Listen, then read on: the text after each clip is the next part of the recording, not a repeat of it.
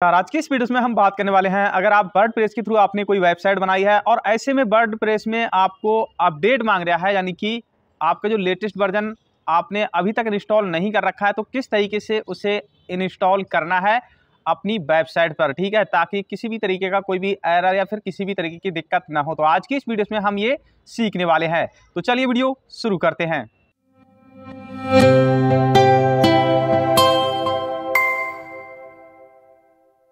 Word press को open करेंगे और अपडेट पर सिंपली क्लिक करेंगे। तो चलिए मैं यहाँ पर क्लिक कर देता हूँ। वर्ड प्रेस अपडेट का यहाँ पर ऑप्शन ओपन हो चुका है और जो भी वर्जन होगा वो आपको ऊपर में देखने को मिल जाएगा। जैसे कि सिक्स, फोर, थ्री मेरा यहाँ पर करंट वर्जन है।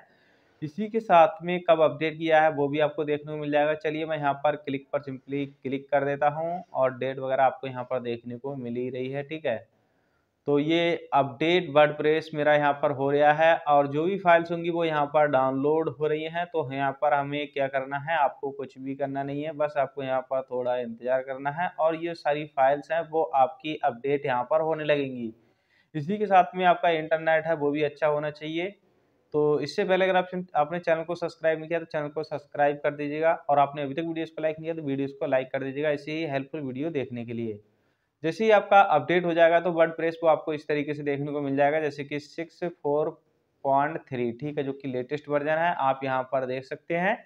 इसी के साथ में आपको नोट्स मिल जाता है, यहाँ से आप सारी डिटेल्स को भी चेक कर सकते हैं, और इसमें पहले जो वर्जन था वो सिक्स फोर टू था, और उससे पहले था यानी कि सिक्स फोर वन था।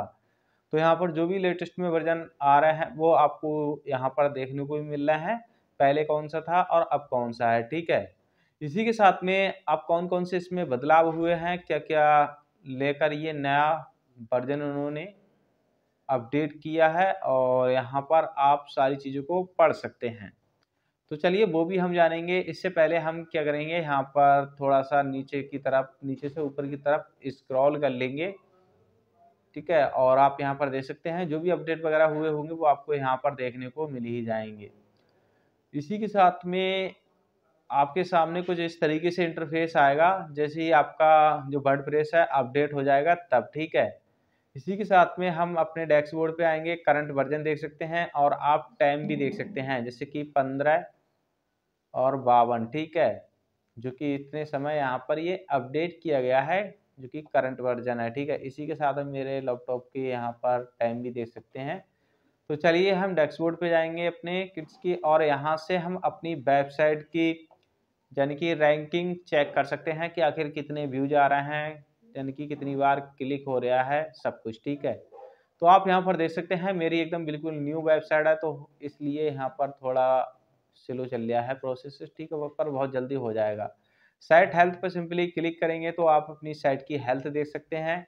सिक्योरिटी जैसे कि अपडेट वगैरह है तो इसे आप यहाँ से डीएक्टिवेट एक्टिवेट कर सकते हैं। तो चलिए मैं यहाँ पर मैनेज पर सिंपली क्लिक करता हूँ। क्लिक करने के बाद में हमारे सामने आ गया है एक्टिव या डिलीट तो मैं इसे एक्टिव कर लेता हूँ क्योंकि ये एस ई ओ है तो इसका मतलब एस ई ओ के लिए काफ़ी अच्छा रहेगा ये, ठीक है? उसके बाद में आप यहाँ पर, मैं यहाँ से इसे सिंपली बैक कर देता हूँ। और फिर से हम इस पर सिंपली क्लिक करते हैं तो ये आ रहा है थीम से रिलेटेड ठीक है? अगर आप थीम्स में कुछ भी अपडेट करना चाहें तो आप मैनेज पर सिंपली क्लिक करेंगे। अब आप कौन सा थीम्स यहाँ पर लगाना चाहते हैं? जैसे कि मैं तो वही यही लगाना चाहूँगा और उसके बाद में अगर कुछ बदलाव करना चाहते हैं तो इस पर आप सिंपली क्लिक करेंगे। ठीक है? और कंटिन्यू फिर सिंपली क्लिक कर देंगे। इसी के साथ में आपके सामने फिर कुछ इस तरीके से यहाँ पर ऑप्शंस आ जाएँगे। जैसे कि आप इसमें क्या क्या बदलाव करना चाहते हैं, वो सारी चीज़ों को आप यहाँ से कस्टमाइज कर सकते हैं, जैसे कि कलर मैं यहाँ पर ब्लैक कर देता हूँ तो ब्लैक यानी कि ये वाला कर देता हूँ, आप यहाँ पर देख सकते हैं।